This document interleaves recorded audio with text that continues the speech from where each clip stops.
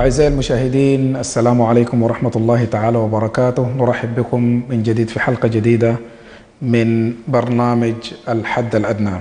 هذه حلقة نوعية في هذا المساء الجميل من خارج استديوهات قناة الشروق ولكنها في مركز نابض بالرحمة والسلام من أجل العلاج والفقراء ألا وهو مركز السلام لجراحة القلب.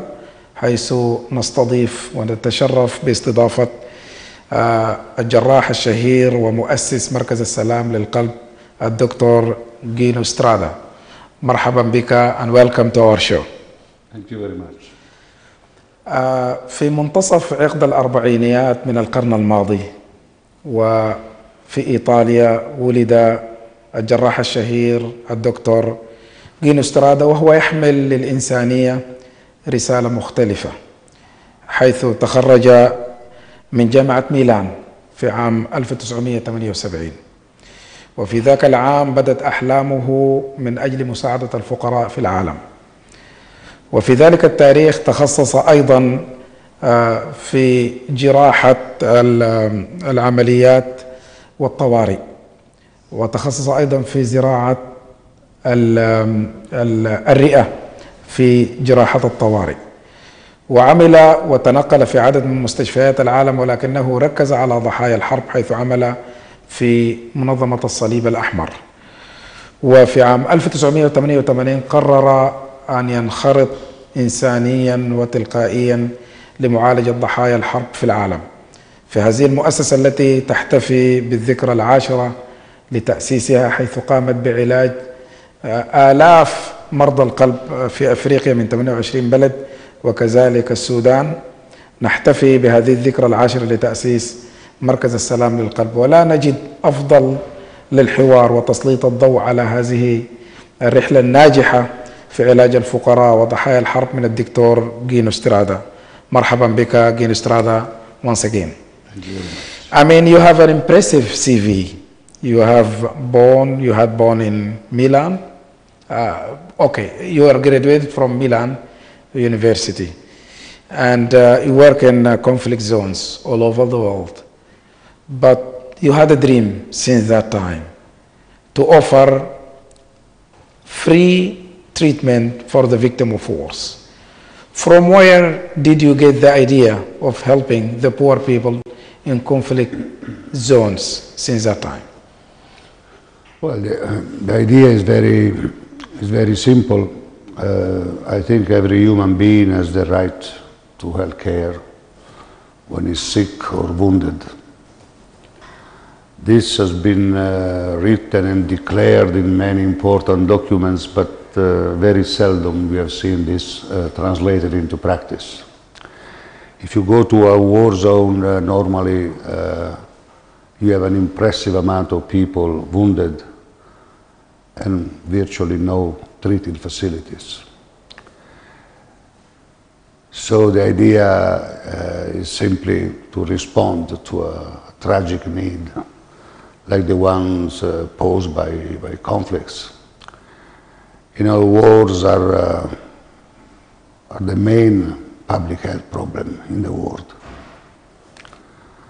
War is the real cancer we have to defeat because every time there are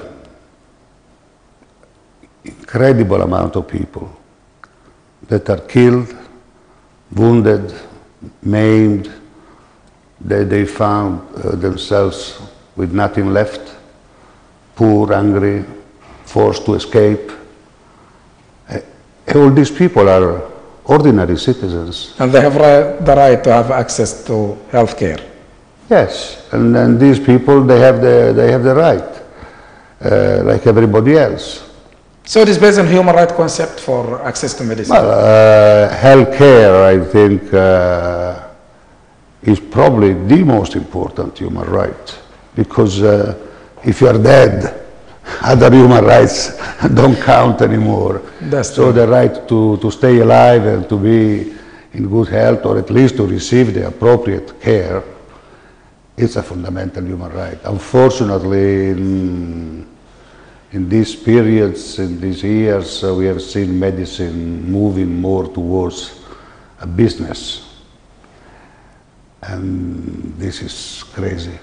It's crazy because it's, uh, it's very, very destructive of the society. Patients are divided in those who can pay, and therefore they can have access to healthcare, and those who cannot pay, and those who are neglected and left abandoned. But uh, Dr. Estrada, you have worked in different countries that have witnessed uh, conflict zone in Asia, in Africa, Latin America. And um, definitely, I mean, you have inspired by the condition of human lives and people. But what bring you to Africa first time?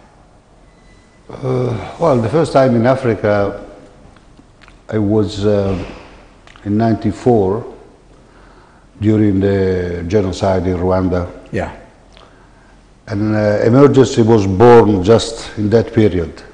So it was our first, uh, first operation in Rwanda. And we went down with a surgical team and uh, we have been working there in very incredible conditions. I mean, to give you an example, uh, in Kigali, the, the operating theater, half of the roof was down because there was a bombing. Uh, there was no electricity, there was nothing. So we had to recruit a few teenagers passing by, giving them some food. And uh, they were working on just holding torches over the operating table, which is a very, very heavy job because you have to stay there two, three, four hours like this. Wow. And the surgeon gets angry if you move. Uh, so that was a sort of pioneering mission at the very beginning in Africa. Then uh, I worked in other places in Africa. In 2000, I was uh, working during the war between Eritrea and Ethiopia.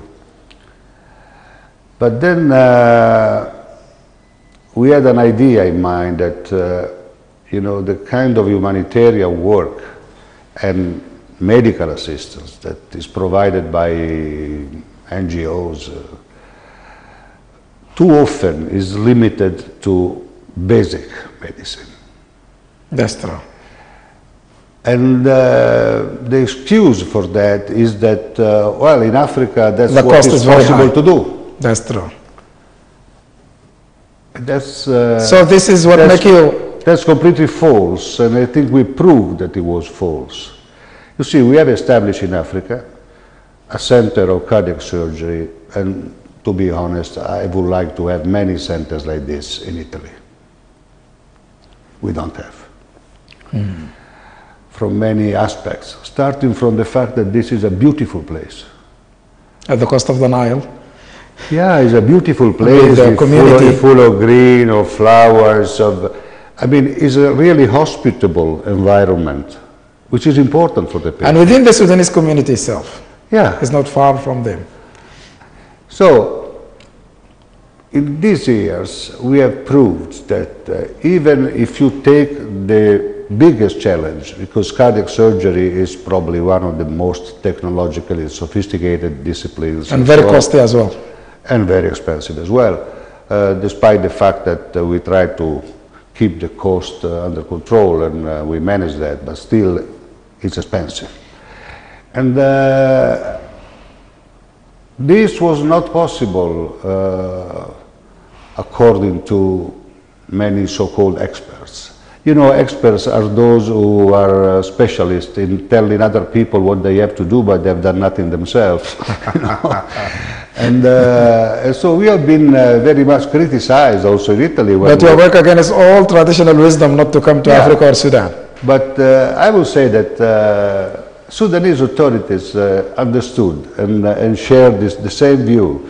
So when uh, we proposed in 2003 to build uh, this center with the characteristics of being a center of excellence and a center completely free of charge and a center open to everybody, not only Sudanese citizens, uh, the authorities perfectly agreed with that perspective. The governor of Khartoum state at that time. Yeah. Correct. And uh, we managed, and today we can say that uh, we have won the match. Big time. So, uh, from now on, uh, whoever uh, comes to Sudan to have you know, medical initiatives to set up medical projects uh, cannot say anymore this is not possible. you set an example for everybody. If, if cardiac surgery is possible, every Everything discipline of medicine is possible. But, but, but I mean, this is bring us to the idea of emergency. You are, you are providing different health care right now. And that is what make your, I mean, this, your project is, is quite different because it's beyond the basic services, healthcare basic services. My, my question that, you know, what bring you to Sudan? What did bring you to Sudan? Why Sudan? Well, uh, uh, actually, uh, the choice of Sudan, uh, apart from the fact that uh, we found it, uh, authorities very cooperative in this respect, but the, our idea was uh, to have a, a, a project to bring people together, to have uh, citizens, uh, even from countries who are at war or who are in disagreement, to find themselves close to each other in, in the next bed. Uh, this uh, improves the so-called international cooperation and mutual understanding, all these big words. But it's a good exercise. It's a good exercise. And uh, I'm very happy to, throughout these years, to have realized that the Sudanese government was uh, very much attentive to this. They always gave free of charge visa to all patients coming from every part. And we have operated patients here from 29 countries now. Uh, they always gave visas for their relatives. Uh, they never questioned So from now on, you see, uh, people who do not want to establish uh, projects of medical excellence, they can do it, but they have to realize that it's their choice. It's not the only choice. It's their choice. If you want to do a low-level medicine, help yourself. But But don't first tell me that uh, this is the only option. Uh, Dr. Estrada, right now we are celebrating the 10th anniversary of establishing and founding this center.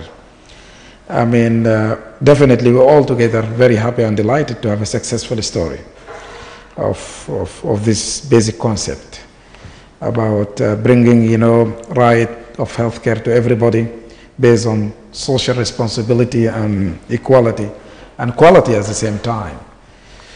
What kind of a lesson that you can tell your audience and other partners in this field uh, about 10 years of successful story in Sudan? Well, the story has been a success, I think, uh, mainly thanks to the commitment of the people involved. You know, uh, if you consider uh, the patient as a person who is uh, suffering from a problem and not as a potential customer, it's a completely different story. It's a completely different story uh, then you are only focusing on the patient's needs, not on the market's needs. That's true. And, uh, and then uh, the ingredients of this success. First of all is the hygiene. You walk around this hospital, you will never see a fly. It's clean everywhere. You could eat on the floor. You keep good hygiene, yeah. Hygiene is not, you know, a hobby. Uh, it's a fundamental part of therapy. So infection a- is zero. You have a hospital with poor hygiene, you can be sure that the mortality rate is higher. 100% sure. Of the infection, correct. And, uh, and these two factors combined together uh, gave uh, the clinical results that we are having. We will be obviously publishing all the clinical results that are already available on our website, but uh, just to say that uh, our mortality rate here is much, much lower than the average mortality rate. In the international standard, Exactly. And, uh, and this uh, should uh, make some people thinking of what is important in medicine. Sometimes uh, we believe that medicine is all about uh, new drugs, new technologies, new things. No. The most important factor is the commitment and the behavior of the medical personnel. The commitment in uh, having a sort of empathy with the patient and uh, really caring for the patient. And the behavior, because, uh, you know, uh, keep a certain standard of hygiene, you need uh, good human behavior. Correct. We know that most patients who die by infection, they die because of a bad behavior of the medical staff. This is very important message even for our local community and, and medicine facilities in Sudan as well. So for me, this hospital is really a model. I'm very proud that uh, the Sudanese uh, Ministry of Health has uh, this jewel in its panoplia, and uh, I hope that this will continue because it proved to be uh, a winning model. And I'm sure that this message uh, has been well understood, at least by the health authorities. Obviously, doctors or some doctors uh, who are more involved in uh, private practice and these kind of things um, might not be that happy of this facility because, uh, in fact, it's true that we are stealing money out of their pockets in the sense that we provide free of charge treatment. That's true. Uh, but, uh, but medicine uh, is something that uh, is public. I mean, if, if we'd like to go into details in how this beautiful center is operating right now, I mean, um, is your all medical staff international or do you have some local from Sudan? We have, uh, we have uh, about 150 staff here between uh, nurses and doctors, Sudanese. Unfortunately, until now, we were not able to have here in this center uh, an officially recognized uh, postgraduate training school. Oh, And this is due to the bureaucracy of uh, but you are interested to have that one? Yes, we are now in the process of uh, asking for the accreditation and so on because, you know, uh, training staff is a, is a crucial point. We have been training here a lot of nurses, a lot of doctors, and they all went. Because maybe they stay here one year, they learn a bit of a job, and then uh, I've been told that uh, when a nurse goes to Saudi Arabia or to the Gulf countries, presenting a certificate that she has been trained here, she gets a job straight away. But this is not good for So, Sudan. your training certificate is, is credited all over. But this is not and there good is a for shortage international for nurses all over the world. I think the effort uh, that should be done jointly by us, but mainly of, by the Ministry of Health, is to encourage young people, young doctors, not to leave the country because there are facilities like this one where you can have a top tra- training, and this is important. And, uh, and for the, um, I, I came to know that about the statistic that, I mean, you have uh, conducted more than, I mean, 10 of thousand of consultations, but about 700, uh, 7,000 uh, surgical operation. Yeah, 7,000, with a very low mortality rate.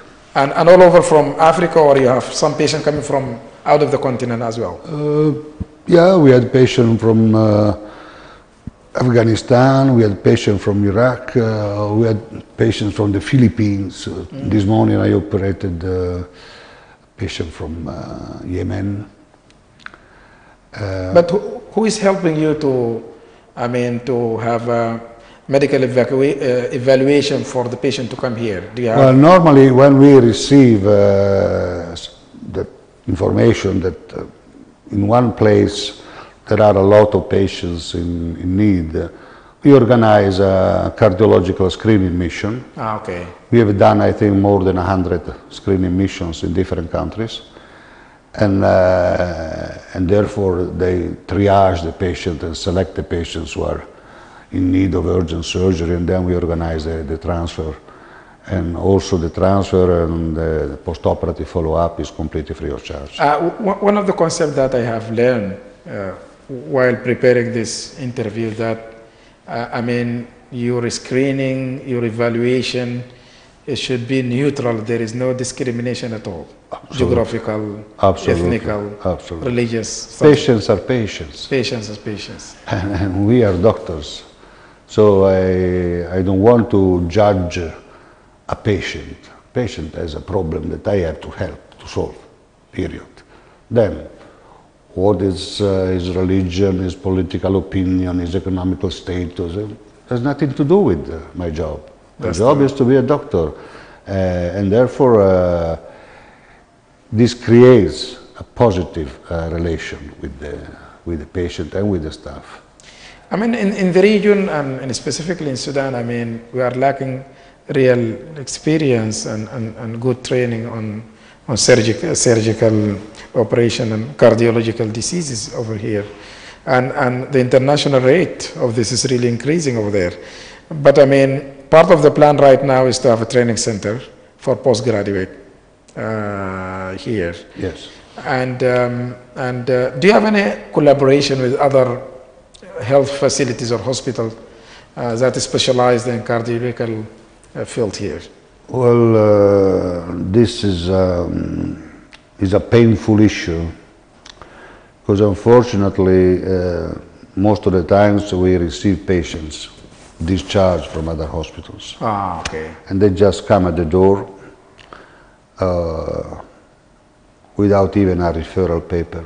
Uh, nothing written of what they found, what they did. What, uh, and this is, is not good. I mean, uh, true. patients are not uh, bags of potatoes that you can move from, from here to there. no. And it happens, unfortunately, quite often. Quite often uh, that we receive But this patients. should, this should be dealt with the Minister of Health. Of Health Yeah, just to coordinate this kind of. Yeah, uh, to organize a referral system, uh, a referral system is important. Uh, so far, I will say that this has not been done properly. I hope that could be improved in the future. We're coming to a basic question about the budget. We came to know that, I mean, 50% or so that is uh, locally contributed for the government. Yes, uh, the Sudanese government uh, contributes with the, the, the equivalent in pounds of uh, $5 million, which covers about 50% of the overall cost of the operation, not, cost, not yeah. just the cost of surgery, of course. Yes. Uh, we have here uh, 370 national staff, not only doctors and nurses, Oh, there yeah. are a lot of cleaners, uh, guards, and technical personnel, and so on. Uh, so the, the entire operation uh, is, is quite expensive also because we have here 60 international staff.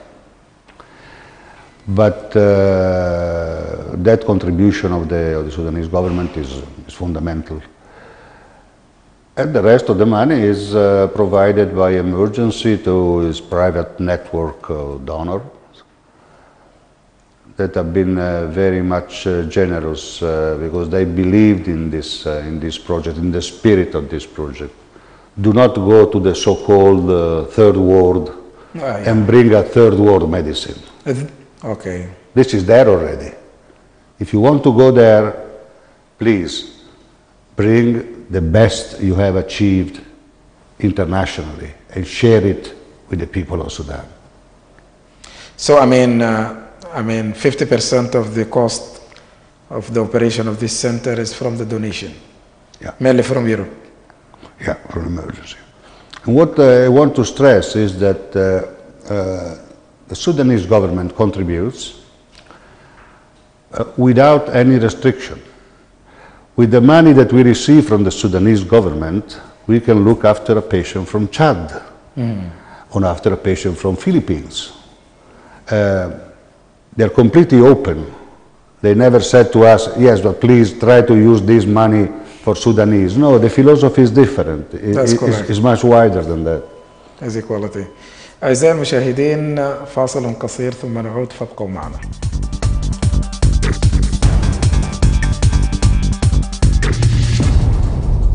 مرحبا بكم مجددا اعزائي المشاهدين في حلقه جديده من برنامج الحد الادنى حيث نواصل الحوار مع الجراح الشهير جينو سترادا مؤسس ومدير مركز السلام للقلب آه، بالخرطوم آه، في منطقه سوبا. Dr. Estrada, I mean, um, just to continue our discussion, I mean, it is difficult as a medical surgeon and founder of this institution to be in Sudan for a long time. How long per year you stay in Sudan? Well, I would say probably about eight, nine months per year, at least. Fully engaged in operation and Yeah, I'm a surgeon, so uh, that's the only, the only thing I can do, I'm able to do, I mean, uh, surgery. And do you have a time to discover the country? I have to confess, I, I've been once in Wau Yeah. to assess a hospital, but uh, I think I'm the only one uh, among our international staff who has never uh, been to, the, to Meroe. I, I never went out of Khartoum actually because uh, I'm too busy in the hospital. Yeah, I mean, uh, definitely part of your successful story in this center is about the organization because, I mean, what you're going to say here also, it is a message for our local health institution. How do you organize, I mean, uh, I mean, the medical process and, and, and, and, and organization of this center? How does it operate to give good result?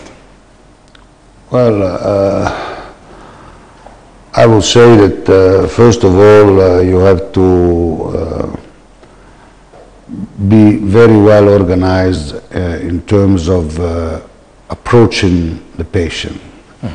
Here, uh, every patient that comes to the reception, if there is uh, even a suspicion that he might have a cardiac problem, uh, receives immediately a, a specialist cardiological consultation uh, so that we know if the patient uh, is in need of surgery or if the patient might need surgery in uh, Later on.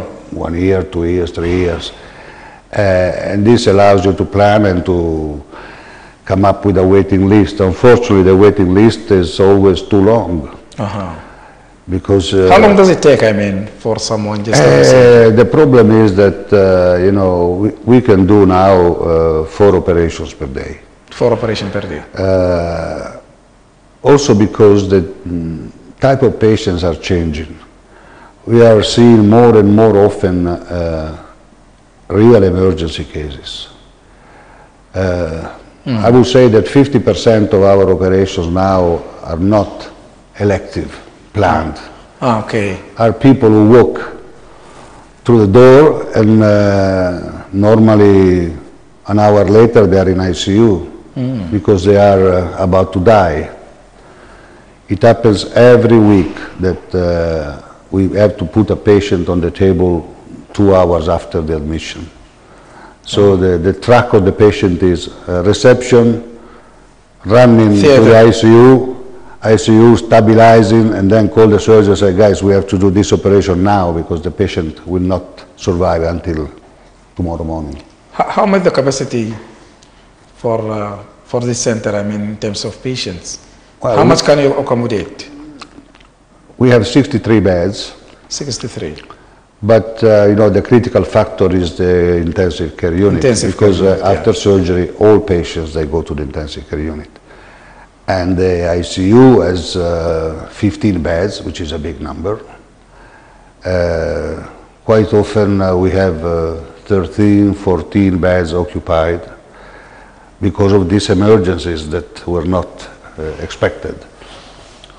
So that the center is, is, is changing a little bit uh, towards be, becoming a, a specialized center for valve surgery, for And this brings the question of, I mean, what, what is a common cardiological disease? I mean, Well, here, uh, you know, obviously you have uh, a certain amount of congenital malformation, like everywhere in the world. no reason why Sudan should have more. the, the real problem here, the, the tragedy, is the rheumatic fever, oh, is the rheumatic heart disease, because there is no. has something, is this something to do with the weather or? No, it's something to do with uh, an infection by a common bacteria. Ah, okay. Stupid infection, a simple sore throat. But when it happens uh, in Europe or in countries where you have a, a well-developed health system at the territorial level, every child who has sore throat and a bit of fever gets one shot of antibiotic. And that is enough to prevent the cardiac complications. Where there is no prophylaxis, cardiac complications are unfortunately rather common. And they affect uh, mostly young population. Uh, our uh, patients, more than 50% of them are in first or second decade of life. Whereas in, uh, in Europe now you do cardiac surgery in 70, 80, 85 years old people. Here you do it in children. Uh, we have done uh, operations on uh, children two years, two years and a half with rheumatic heart disease. This is the main tragedy, not only in Sudan, it's in Africa. In Africa in general. 300,000 deaths every year in Africa because of rheumatic fever, and out of this 300,000, more than 50% are children. There is new research finding right now because the common, I mean, analysis before that, um, the diet, the common diet and food for Sudanese people, and the cholesterol is very high uh, here of, of, of diet and food and something like that. And some people think that the blockage is so common over there. But some, some research right now at the US, mainly uh, FDA, they think that uh, cholesterol has nothing to do with cardiological problems in, in third world country. I mean, any, any perspective on that? Well, you the rheumatic fever is basically a disease of poverty. Um, It's not uh, by coincidence that uh, you find it uh, in uh, poor income or low income countries. It was the same in Europe immediately after World War II. uh, Uh, we had a lot of patients with rheumatic. Unfortunately, uh, at that time, uh, open heart surgery was not available. Yeah. Not yet. So when, when we had the disease, we didn't have the possibility to care for the disease. When we had, you know, the possibility of open heart surgery, extracorporeal circulation, and so on, the disease had disappeared because of widespread prophylaxis. Uh, here the situation is uh, that uh, there is no prophylaxis yet, and there are no treating facilities in Africa. This center is, I don't want to say unique, but it is unique. more or less. You can say more it. or less. And this is a scandal. Is a scandal uh, because you know you have uh, areas of the world uh, where it's full of centers of cardiac surgery who, who do one two operations per week. My goodness. And where is badly needed, there is nothing. It's a matter of, as usual, distribution of needs and resources. Where the needs are big, the resources are lacking. When you have huge resources, you don't know what to do with it. As you said before, it's about commitment. Yeah. It is about It is. commitment, yeah. I mean, um, uh, we are pleased and delighted that you have won a lot of prizes all over the world in US, and uh, and uh, about the film Open Hearts before, and also a lot of prizes that recognizing the excellence of of of what you are doing here on humanitarian basis, human right basis. Uh, I mean, what is your feeling about this successful story and recognition internationally? Uh, well, uh, when I was awarded the Alternative Nobel Prize Yes. uh, This is in 2015. 15, Yes. I thought, well, this is a great recognition for the work that emergency has done in favor of the victims of war. And it was uh, at the same time a recognition of our uh, commitment and our initiatives uh, for promotion of peace. My real dream uh, would be to, I will not see it, but maybe we'll receive a letter saying that the, the world, finally the human community got rid of war. And this So you think that your, your, your main mission is about not treating the victim, but to stop the war and its well, st- stopping wars uh, will be the best way to treat the victims because there will be much less victims now. And considering that 90% of the victims are civilians and not combatants, Mm, yes. those are the people who pay the price. You worked in Red Cross before, Yes, I worked in the International Red Cross, yeah. ah, in Italy, No, no, in uh, the International. International Committee in Geneva. in Geneva. I worked as a surgeon in many different conflicts with them. For three years, before, Before uh, establishing emergency. But in 2016 also, Song of Peace Award as well. Yeah, uh, that uh, was uh, the Sunhak uh, Peace Prize. That was, uh, I think, is probably the most important uh, award in, in Asia. At the ceremony in Seoul, there were a lot of people, delegates, parliamentarians from different countries. There was a lot of interest because we are now preparing ourselves to launch this initiative. Uh, uh, it is not a political initiative, Absolutely. but is a, a, a message that is addressed to the ordinary citizens, saying, guys, it's up to us citizens to stop wars.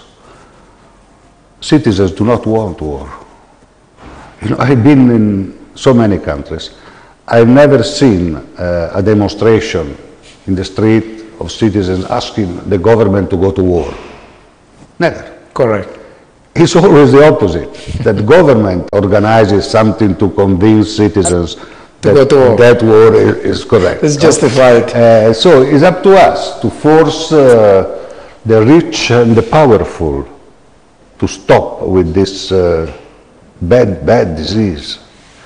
Because wars are declared by rich and powerful, and then they send to die or to kill sons of the poor people.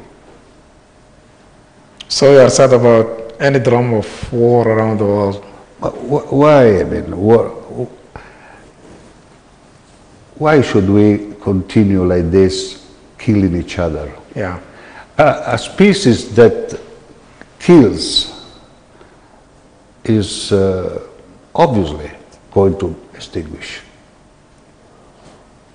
And it's a nonsense, it's a, it's a non-logical. That's true. Uh, Einstein uh, said, uh, but a rat will never build a trap for rats. we are building funny, yeah. all possible ways to kill our fellow human beings. This is completely crazy. In 1999, you published your diary, Green Parrots, Yeah. to tell your story about this.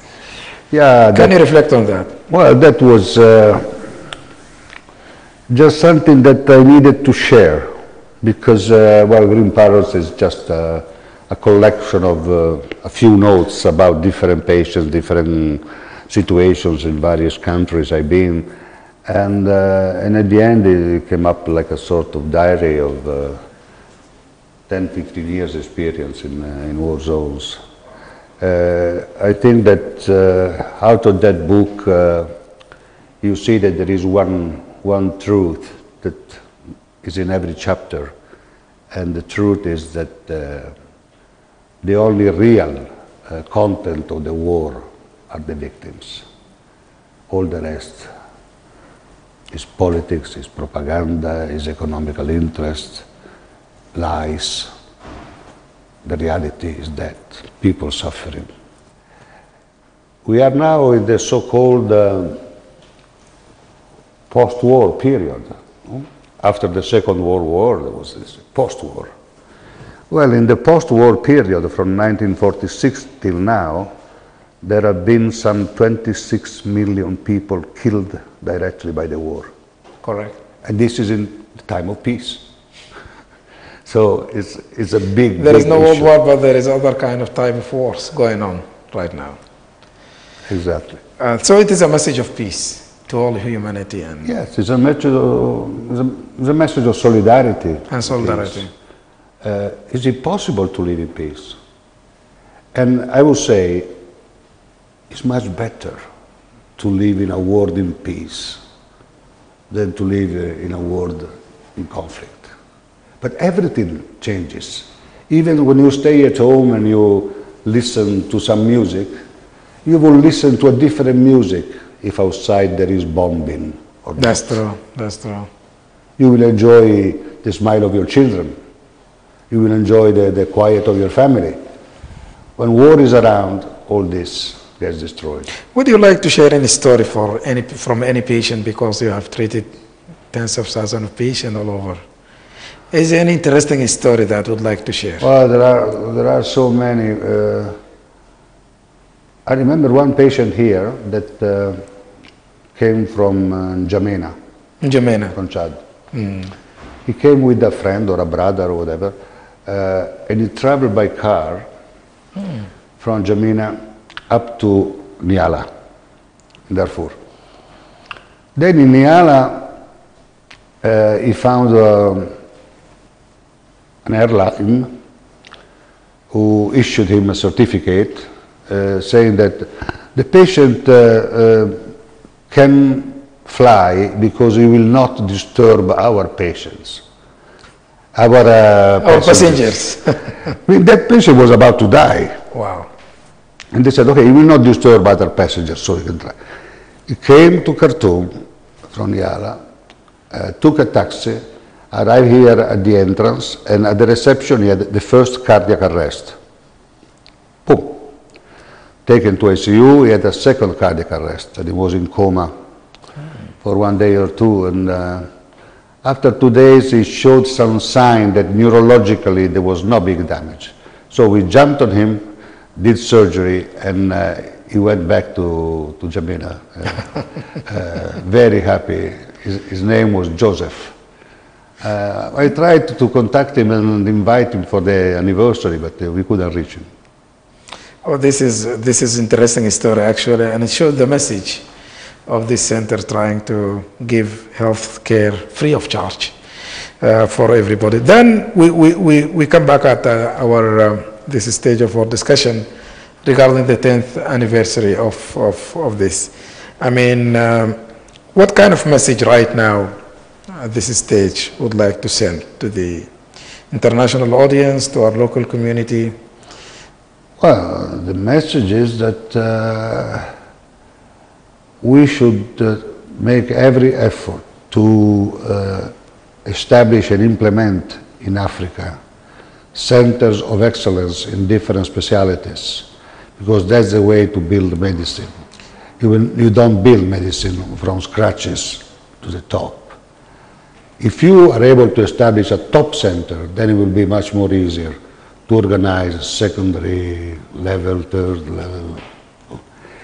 And uh, if you have these kind of hospitals, uh, the health of African citizens will change. Because at the moment the situation is a big scandal. Yes. I don't know in Africa a big center where you can receive treatment for cancer. So why, for us Europeans, if you have a cancer, you expect to be cured properly, but if you are African, no hope. There is no hope, yeah.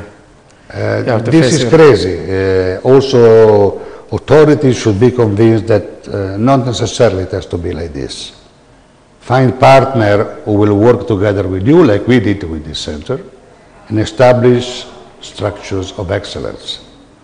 And obviously, إن النجاحات التي توج بها الدكتور جينو سترادا لقيت ترحيبا واحتفاء كبيرا في العالم ولكن نختار أم، تكريمين حصل عليهما الأولى ما تسمى بجائزة نوبل البديل في ستوكهولم حيث كرم في البرلمان ولقي ترحيبا كبيرا. آه، سنشاهد ذلك آه، في هذا البرنامج أيضا.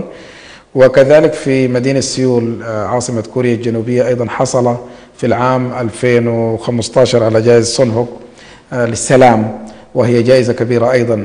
هذه الجوائز هي تصبح فقط رمز ومثال احتفاء بالنجاح والتميز وكذلك اعتراف العالم بهذه الجهود التي تبدو هامة جدا في إرسال رسالة لكل العالم حول طبيعة وقضية النجاح الذي تم في هذا المركز في السودان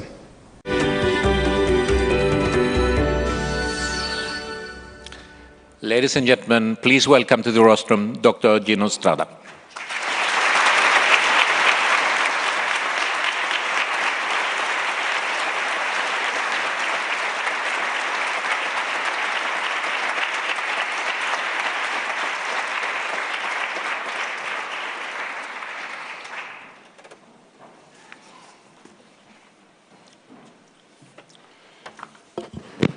Good evening, honorable members of the Swedish Parliament and Swedish government, members of the RLA Foundation, fellow laureates, excellencies, friends, ladies and gentlemen.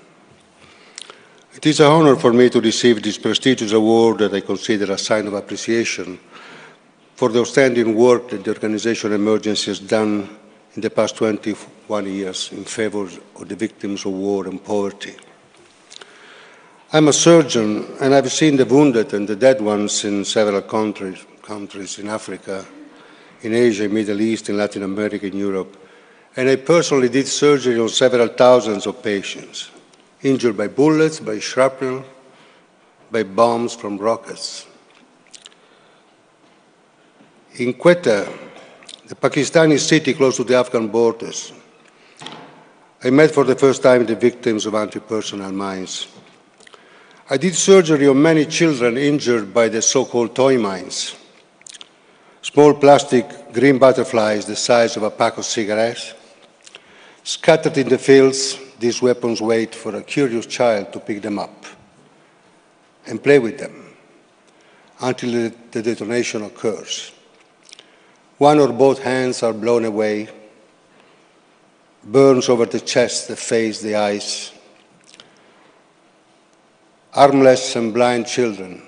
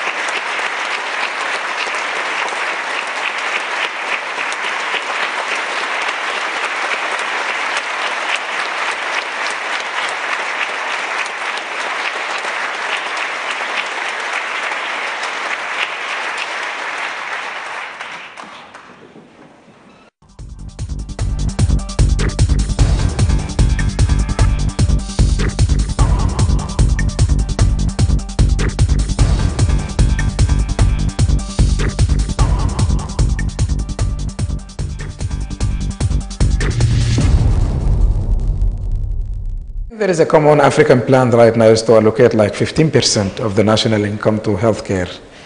Definitely, we are not there. I think Sudan right now is about 7% of the national income in healthcare. But in a poor country, third world country, in Sudan still we are struggling for this. But this is a good example. And what is important about this, uh, you are treating people and giving medicine um, uh, access uh, free of charge, inequality, human right based approach. And um, this is very important and beyond the basic service of healthcare.